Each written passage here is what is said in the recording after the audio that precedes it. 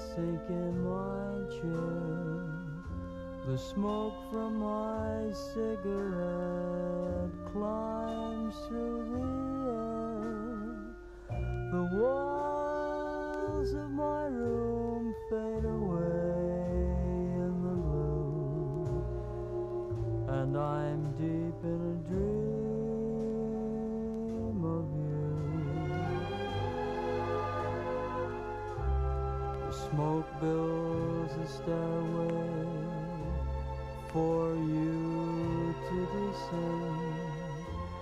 come to my arms. May this bliss never end.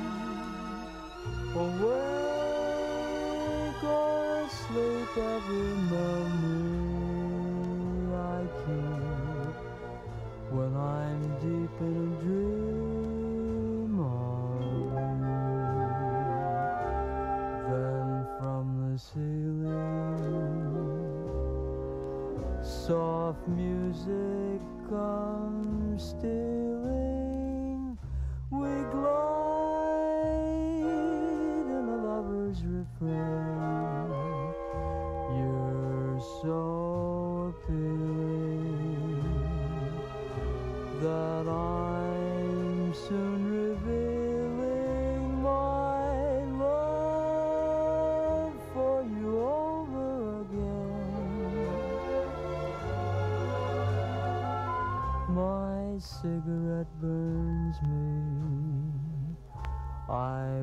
wake with a star.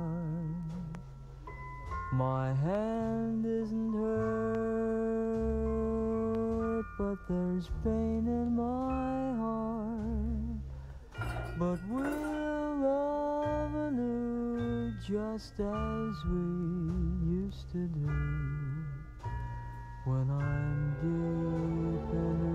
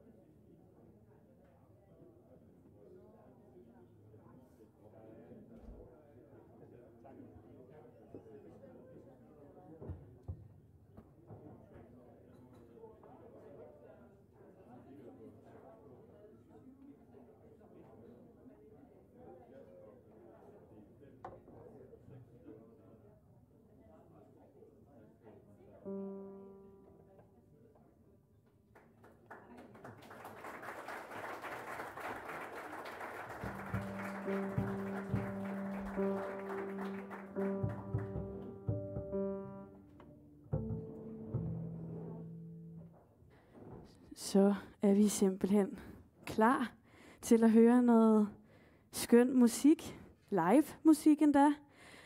Vi har jo øh, hils på hinanden, men jeg vil nævne til alle dem, der sidder øh, derhjemme, forhåbentlig en del, der sidder livestreamer, så er der faktisk et MobilePay-nummer, som øh, man, hvis man har lyst, kan gå ind og øh, overføre nogle penge til, som støtter musikerne og stedet.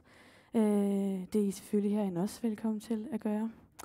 Og øh, jeg vil simpelthen ikke sige mere end det, fordi I er jo bare klar, og det er dejligt, og I er forhåbentlig også klar. Så giv dem nu en kæmpe hånd. Henrik Gunde og Jesper Bodilsen.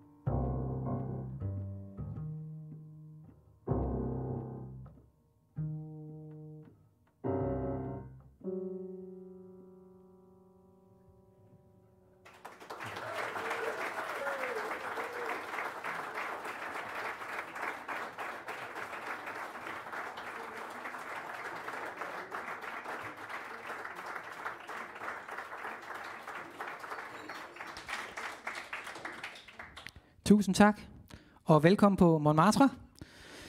Det er øh, fantastisk at stå her på scenen. Det øh, kan I jo sikkert godt regne ud efter nogle ørkensløse måneder, hvor vi bare har siddet hjemme på vores kolde loftsværelser og frosset. Ja, det gik hurtigt med at tælle penge. Det var ikke noget problem. Det gik der cirka 5 minutter med. Så vi er, er super glade for at have fået lov til at komme og lave en hybridkoncert, som jo øh, er et nyt begreb, men øh, ikke desto mindre spændende, at øh, vi både kan få lov til at spille for jer, og så for alle dem ude rundt omkring i verden, som har lyst til at lytte med. Men nok om det. Øh, vi spiller et øh, repertoire i aften, som øh, vi har skrevet en hel del selv. Det kan vi godt. Øh, vi har jo haft tre måneder til at øve os. Og øh, det er noget musik, som øh, vi indspiller på fredag. På, vi laver et par, vi laver sgu et par CD'er, ikke? Eller et par vinyler. ja. Og øh, blandt andet den, som vi lige hørte nu, som er sang nummer 277 i højskolesangbogen. Den nye, og den er faktisk skrevet af Henrik Gunde. Ja, skal han have en hånd?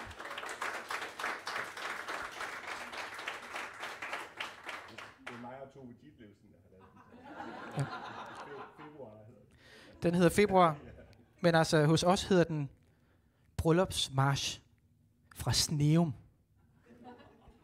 Nå, vi, vi fortsætter ud i øh, det melankoliske med en, øh, en lille sang, som hedder Molly.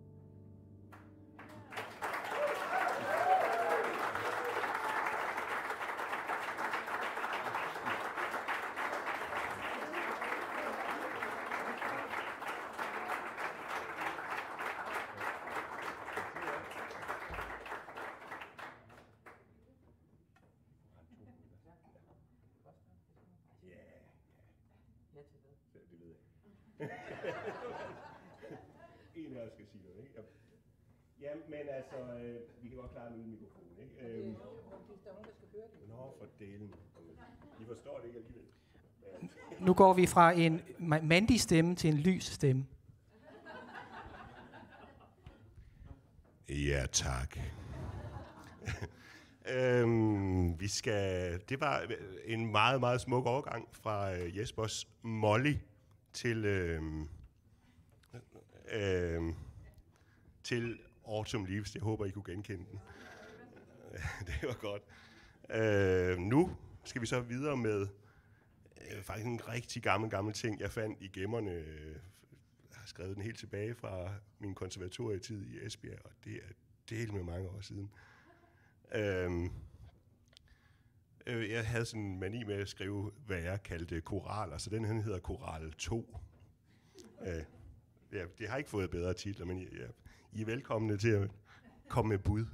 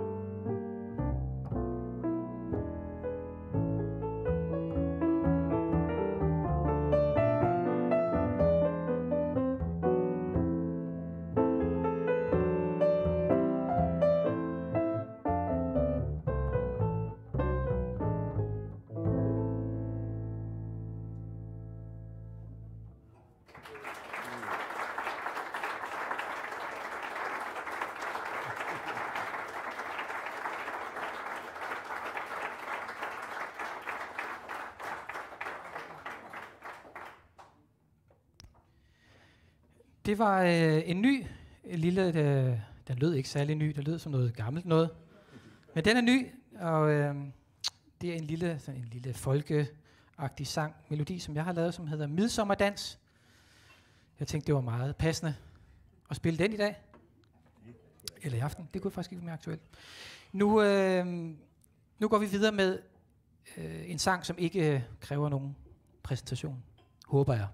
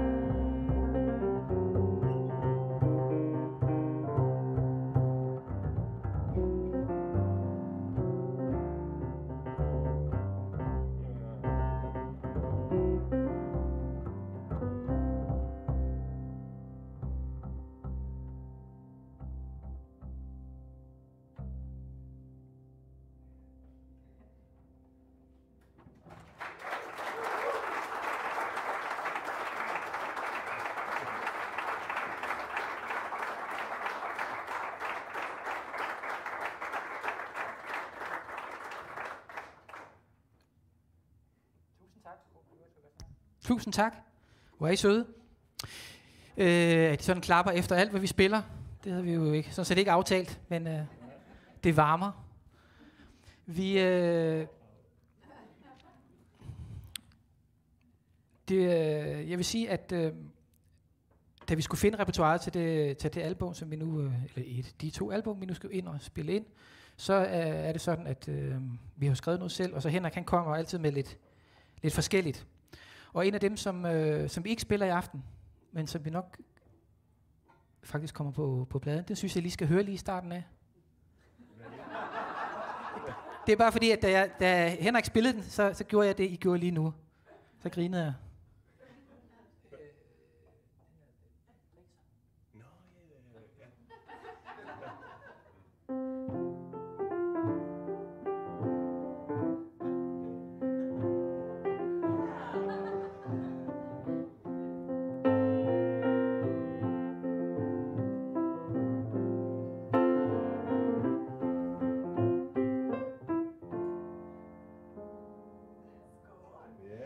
Ja, skål. Den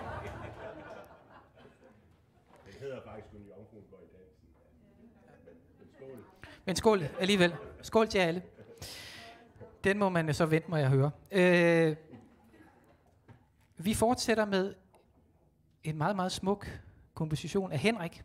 Af Henrik. Det er svært for mig at, at, at sige Henrik, fordi han hedder jo Gunde. Så hver gang jeg siger Henrik til ham, så bliver han også sådan lidt, hvor er det mig, du snakker til?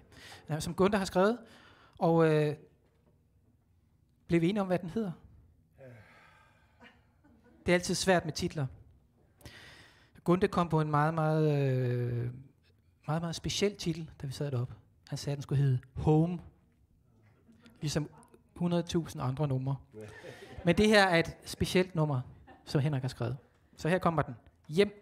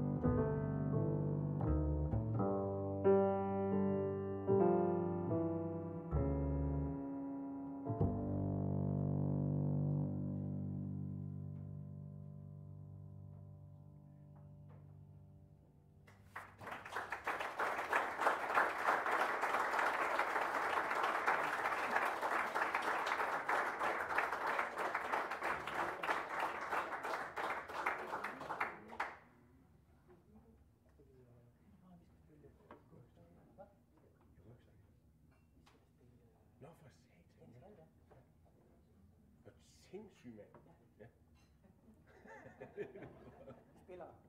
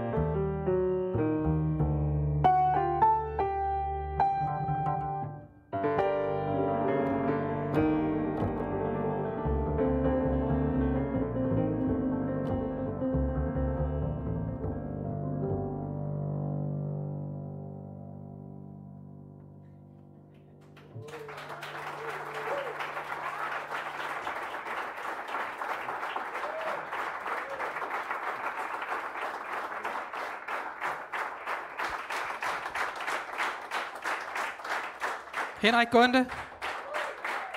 Jesper Bodilsen. Tusind tak.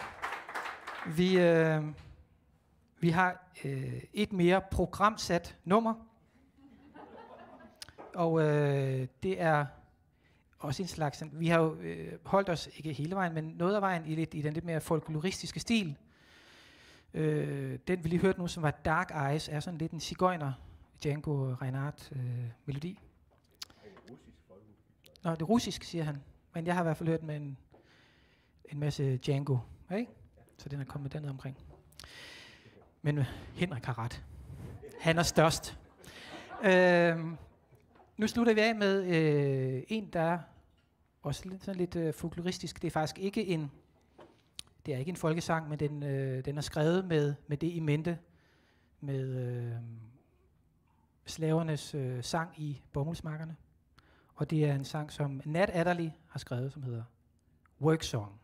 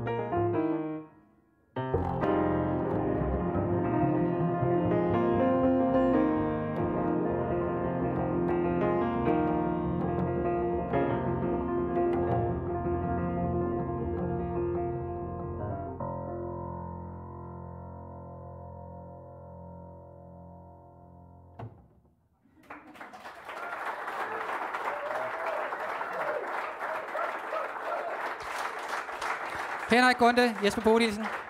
Tusind tak for i aften.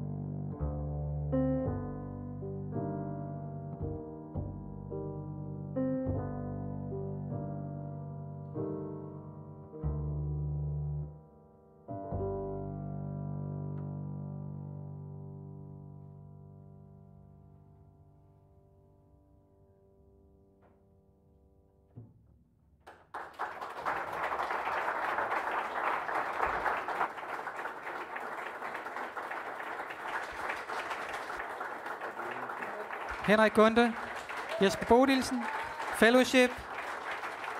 Tusind tak. Hvor har I været søde. Var det dejligt at spille for jer. Håber, I har hygget jer og nyttet det. Tak for aften.